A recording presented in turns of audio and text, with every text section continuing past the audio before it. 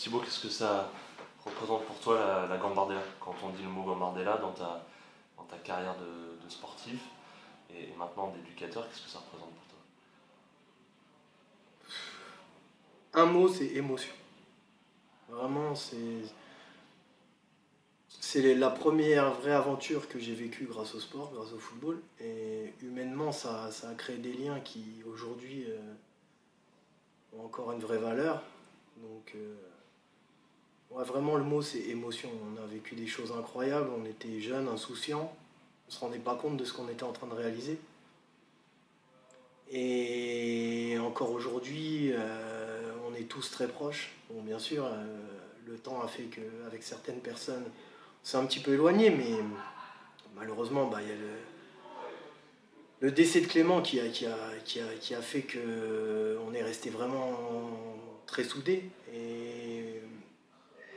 Aujourd'hui, j'ai la, majorité de mes amis dans le football viennent de cette génération. Et ça, ça c'est ce qu'on on s'en rend pas compte quand on est jeune, mais, mais ce qu'on recherche dans le sport, c'est vraiment ça. C'est vivre des émotions. J'ai eu la chance de vivre des montées, d'avoir des moments euh, de joie, de peine dans, le football. Et vraiment, euh, c'est vraiment les, premières émotions que j'ai pu connaître grâce au football. Tu disais euh, à l'époque, la génération, vous attendiez pas, enfin, vous ne saviez pas ce que, ce que vous étiez en train de faire.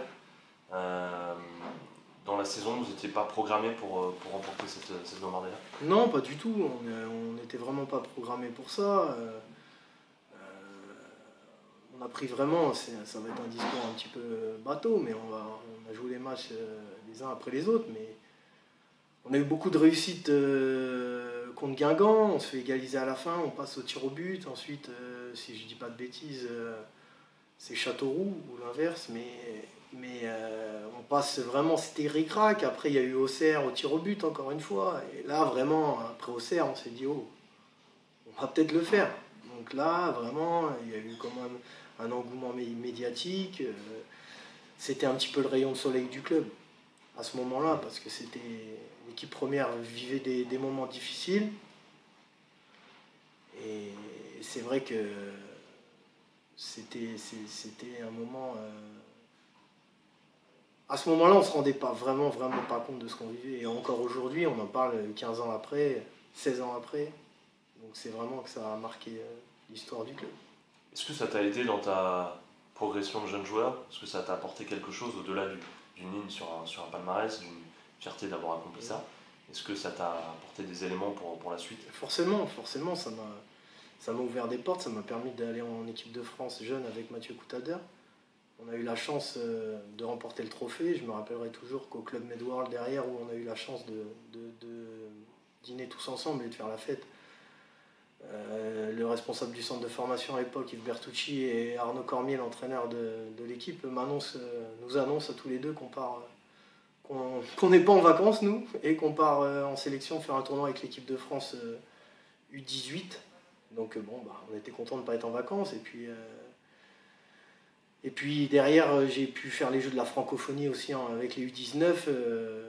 voilà, c'est des souvenirs en jeunes qui, n'ont pas de prix. Quand on, j'intègre le Mans FC, le, le MUC 72 à l'époque, et aujourd'hui le Mans FC, mais à l'âge de, 15 ans, je ne sais pas que je vais vivre tout ça j'en ai pas conscience.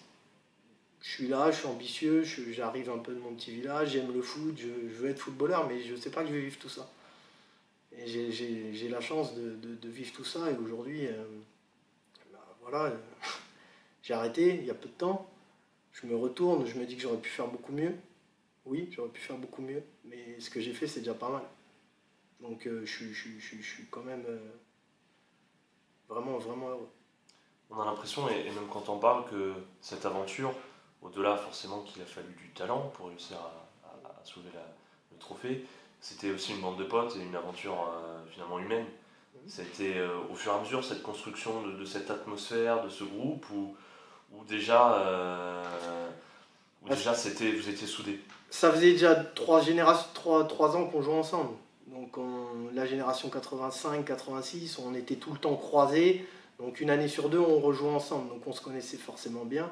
Après la génération 86, on était tout le temps ensemble, on, était à l'école ensemble, s'entraînait tous les jours. voilà, ça avait créé déjà des liens très forts. Et, et puis oui, forcément, réussir ce qu'on a fait, fallait qu'il y ait quelque chose autre que sportif qui se dégage. Parce qu'on avait de bons joueurs, on était de bons joueurs. On a rencontré euh, des équipes qui avaient des joueurs bien plus forts que nous. Et peut-être que sur ces matchs-là, eux, à l'instant T, n'étaient pas, pas à leur top niveau. Et nous, avec notre force collective, on a su s'engouffrer là-dedans. Et, on s'est senti, euh, c'est vrai, à un moment donné, peut-être intouchable quand euh, bah, le petit coup de pouce, il fait que au cerf, on prend. c'est des souvenirs, on est à 0-0, corner rentrant, Mathieu qui la sort au deuxième poteau. Waouh, tu te dis purée, oh, tu vas le faire. C'est pas possible, tu vas passer. Et c'est vrai que pour nous, au cerf, c'était notre montagne, parce que bon, bah, c'est la génération. Euh, euh, le jeune, Dembélé, Kaboul, euh, c'est des grands noms, des grands qui ont fait quand même de grosses carrières derrière. Et puis, et puis voilà, après, on a, en demi, on a réussi à battre Nancy, qui était un, club formateur aussi. Après une finale un petit peu moins bling-bling si on veut contre Nîmes, mais il fallait la gagner et on était tous des gamins, on arrivait au Stade de France. Euh, c'était pas simple, on avait eu la chance quand même de le visiter la veille, c'était important. Mais euh, le jour J, il fallait répondre présent et on avait réussi à faire un match solide. Maintenant, tu es euh, responsable de la formation des gardiens au, Mont FC. Qu'est-ce que, quand tu dans cette épopée Gambardella, en tout cas dans ce parcours Gambardella, euh, qu'est-ce que tu peux apporter, toi, par rapport à ce que tu as vécu à ces jeunes, et notamment aux gardiens, puisque c'est, tu es le premier relais mhm. avec eux, qu'est-ce que tu peux leur, leur apporter par rapport à, voilà, à cette édition 2020 euh, Profitez-en. Profitez-en, vous ne savez pas ce que vous vivez. Euh, aujourd'hui, on est, on est en huitième. C'était pas programmé non plus. On ne sait pas ce qui peut se passer. c'est une réelle chance de l'avoir gagné. Et 16 ans après, on en parle comme si euh, c'était hier, on, se revoit tous, en majorité.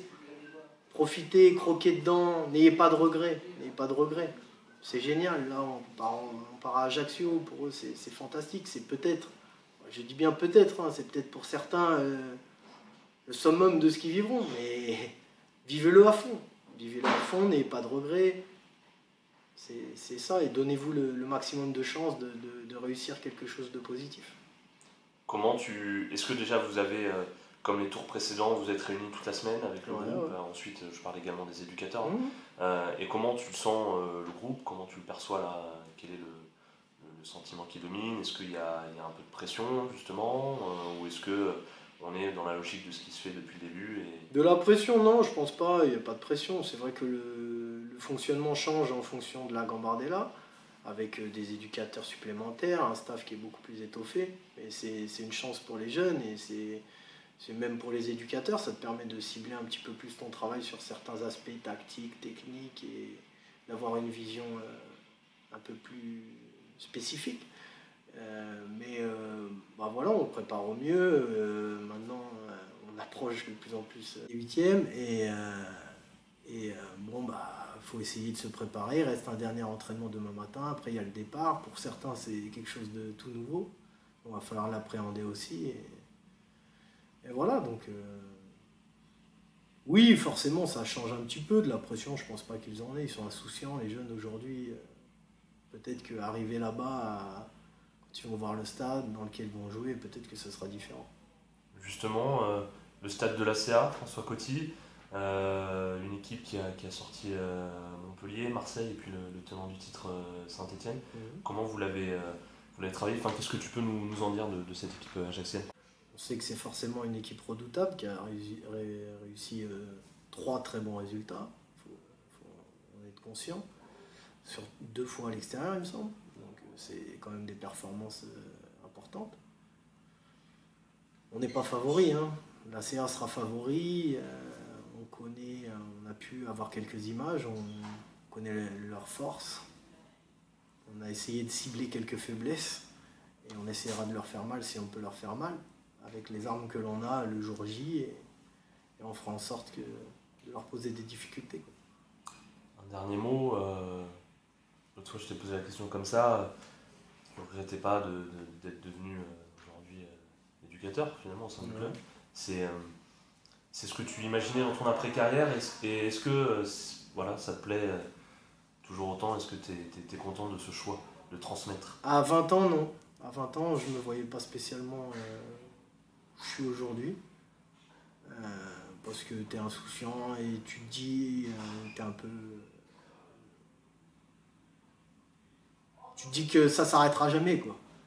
Tu te dis que tu, seras dans le monde euh, footballeur, joueur, et que ça s'arrêtera pas, tu penses pas. Après, certains ont la force d'y penser, mais d'autres, euh, je pense une majorité n'y pense pas.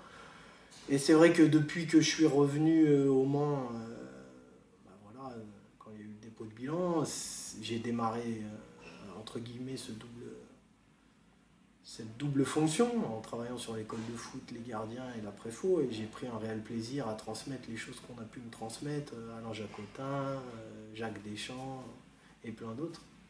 Donc euh, aujourd'hui, je m'épanouis pleinement dans ce que je fais et j'ai qu'un souhait, c'est rendre les gardiens meilleurs de jour en jour. Je vais rentrer en processus de formation pour essayer moi aussi de, devenir de plus en plus performant dans ce que je peux proposer.